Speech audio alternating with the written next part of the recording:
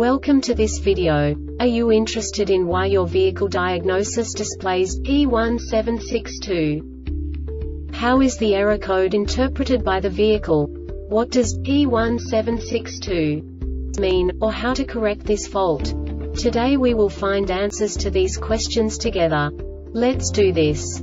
First, let's look at the history of diagnostic fault code composition according to the OBD2 protocol, which is unified for all automakers since 2000. We divide the electric system of automobile into the four basic units.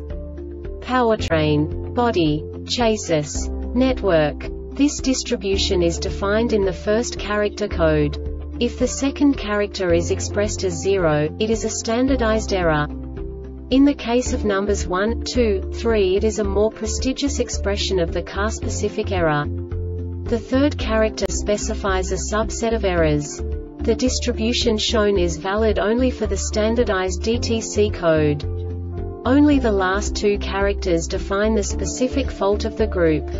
Let's not forget that such a division is valid only if the other character code is expressed by the number 0. Our website airbagreset.sk produces useful videos for you.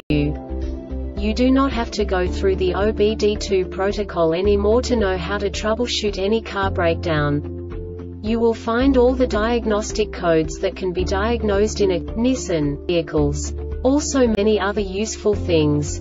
The following demonstration will help you look into the world of software for car control units.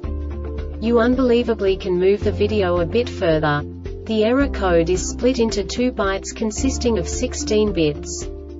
One bit is the basic unit that each computer works with. The bit has two logical states. 0, low level, 1, high level. By combining the first two bits, the basic character of the error code is expressed. The next two bits again determine the second character. The last beat styles of the first byte define the third character of the code. The second byte is composed of a combination of 8 bits.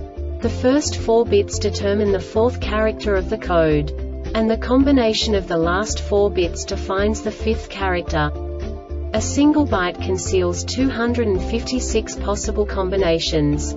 We now know in what way the diagnostic tool translates the received information into a more comprehensible format. The number itself does not make sense to us if we cannot assign information about it to what it actually expresses.